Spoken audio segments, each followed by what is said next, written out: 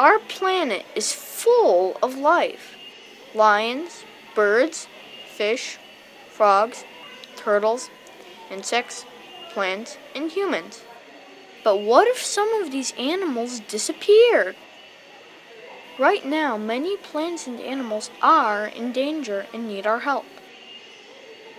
Amphibians, that's frogs, salamanders, and caecilians are one group of animals that are in trouble. Many things are causing amphibian populations to get smaller or even disappear. People are taking them out of their homes, cutting down trees, and polluting the streams where amphibians live. Many areas of the world are getting warmer, making it too hot for some amphibians to survive. A fungus called chytrid is spreading through many amphibian populations. When animals come in contact with chytrid, they become sick and most die. If amphibians disappear from the world, there will be more insects around because there are no amphibians to eat them. Amphibians need our help before it's too late.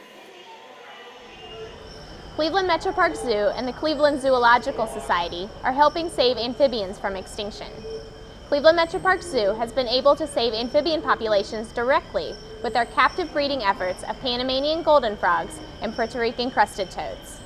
These types of programs give hope that we may someday reintroduce animals back into their natural environment. The zoo has coordinated fundraising efforts like aluminum can drives and the sale of these adorable plush golden frogs. With these and other efforts, we have been able to help an amphibian rescue facility feed animals that have been collected from areas infected by the deadly chytrid fungus. We called our effort Feed the Frogs. In Panama, the El Valle Amphibian Conservation Center's food culturing program is directly supported by our efforts here at Cleveland Metroparks Zoo. Education is a large component of our efforts to save amphibians. We conduct education programs for hundreds of students right here in the United States about the plight of amphibians and how everyone can help save them. We continue to support Amphibian Ark, a group formed by local and international conservation organizations to help zoos save as many amphibian species as possible by providing global coordination.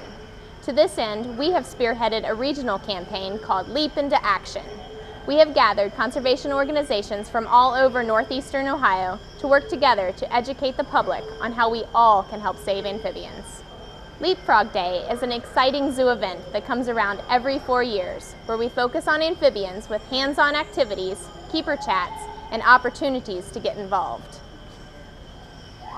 Through our conservation grants programs, we support amphibian research all over the world one project has included us working with Mount Union College to look at ways to combat the chytrid fungus so that amphibian species we rescue from the wild can one day return to their native homes. Learn about wildlife. Turn off the water. Don't litter. Turn off the lights. Recycle. There are things we all can do right now to help amphibians in our backyards and all around the world. Learn all you can about frogs and salamanders, then tell your friends how cool these animals are. Build a toad abode to give amphibians in your backyard a safe place to live. It's simple. Just take a terracotta pot, put it on the ground upside down, and prop up one side with a small rock. Discourage your family pets from disturbing wildlife, especially birds and amphibians. Buy earth-friendly products. Shade grown coffee, for example. Is coffee grown in the shade so that rainforests don't need to be cut down? Anything you do now will help amphibians have a better tomorrow.